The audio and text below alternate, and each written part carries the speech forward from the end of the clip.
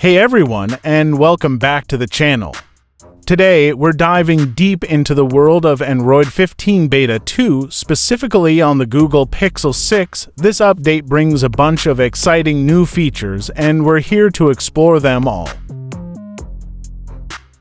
Let's start with something that's been a long time coming predictive back. Google's also introduced predictive back in this update. This AI-powered feature tries to anticipate which app you're likely to go back to after using the current one. It then subtly highlights the back button for that app, making navigation a breeze. Next up, Private Space. This feature essentially creates a separate profile on your device.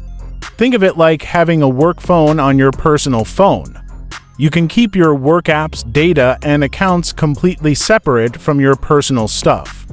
This is a game changer for folks who want two maintain a clear boundary between their work and personal lives.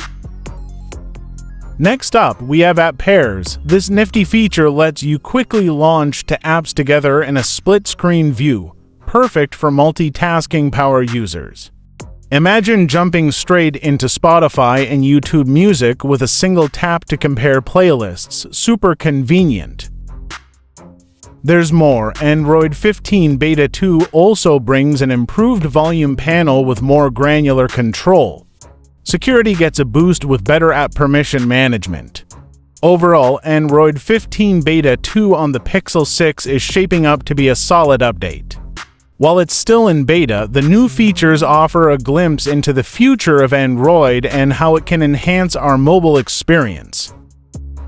Remember, this is a beta program. These features might have bugs or glitches, and the software overall might be less stable than a public release.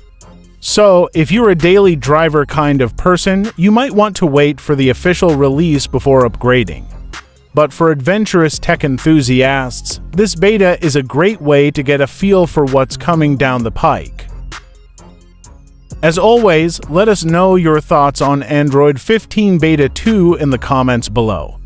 What features are you most excited about, and would you dare to try a beta version on your daily driver? Dot dot thanks for watching. Don't forget to like and subscribe for more tech goodness you